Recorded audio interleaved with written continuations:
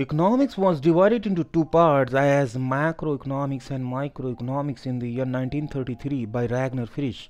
Before this economics used to be studied as economics only.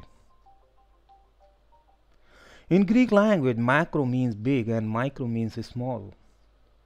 Microeconomics studies the behavior of single economic units, which can be individuals, families, businesses, and the markets in which they operate, whereas macroeconomics studies total employment, gross, domestic, gross domestic product, and inflation, etc.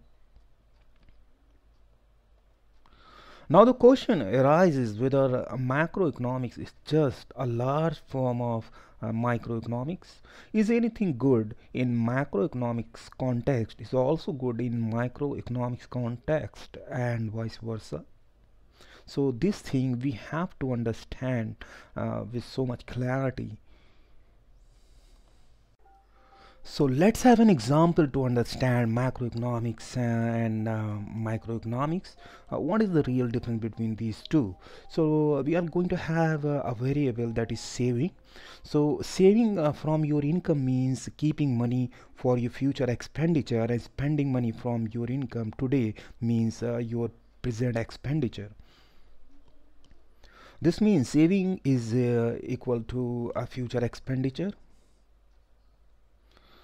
so suppose a household is increasing its future expenditure by saving more and more. So it will be thought as a good thing. Why? Because uh, uh, we know that a penny is saved means a penny is earned. So this is what is true in uh, microeconomics uh, context. So it is a good thing. But if a large number of people start saving in the economy, then the aggregate output will tend to fall because people will decrease their demand by saving more, and as a result, prices would fall and thus reducing output. If the total output decreases, then the national income would also decline, and this is really a bad thing for a nation or an economy. The reason behind this neg negative effect on output is that sellers sell more at increasing prices and reduce their supplies at decreasing prices. Now, for example, uh, if you are a producer of two products, product A and product B, if product A is sold for $10 and product B is sold for $15, which one you will like to produce as a producer? Think? Definitely uh, product B because it gives uh, more revenue.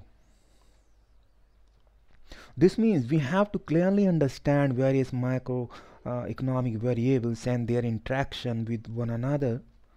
And uh, while thinking in uh, microeconomics uh, context uh, for the same variable we have to see its effect on the overall economy also